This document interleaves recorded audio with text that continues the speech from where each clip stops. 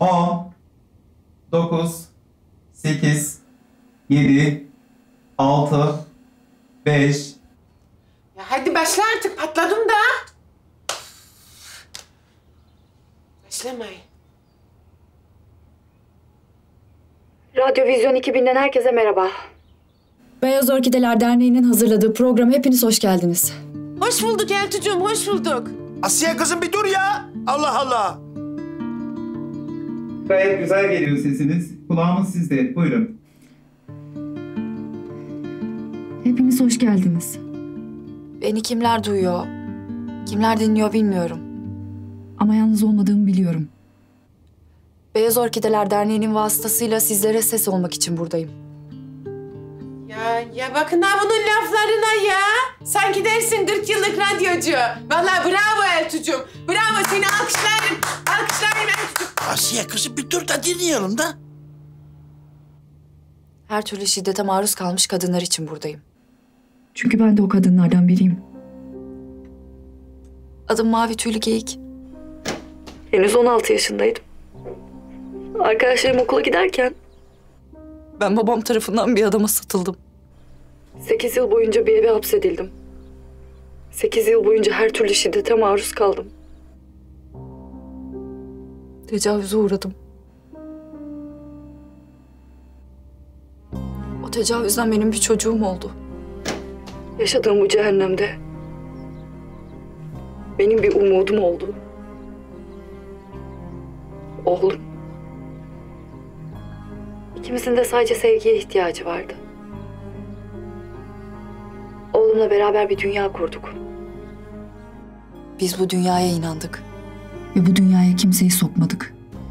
Her türlü şiddete rağmen boyun eğmedim. Umudumdan vazgeçmedim. Oğlum için. Kendim için.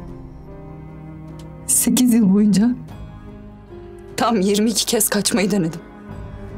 Her seferinde yakalandık. Bir odaya hapsedildim. Her türlü işkenceye maruz kaldım. Aç bırakıldım. Daha kendim çocuktum. Çocuğum daha oldu.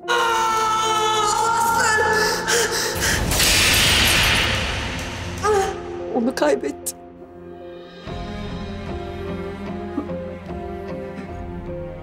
Ama kurtulma umudumdan asla vazgeçmedim.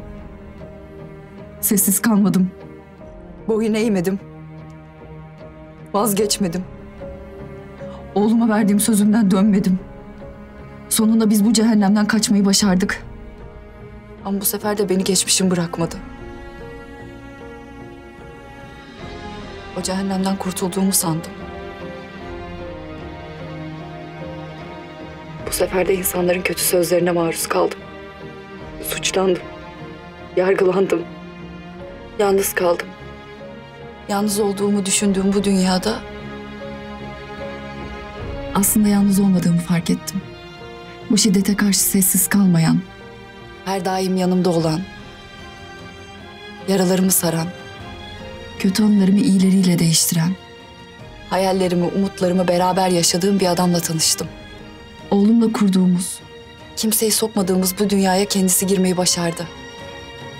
şimdi onun desteğiyle sadece hayal dünyasında değil, Gerçek hayatta gerçek mutluluğu yaşıyoruz. ben bunları size cesaret vermek, Umut olabilmek için anlattım. ben Mavi Tüylü Geyik. Siz de isminizi vermek zorunda değilsiniz. Sevdiğiniz çiçek isimlerini kullanarak siz de yaşadıklarınızı anlatabilirsiniz.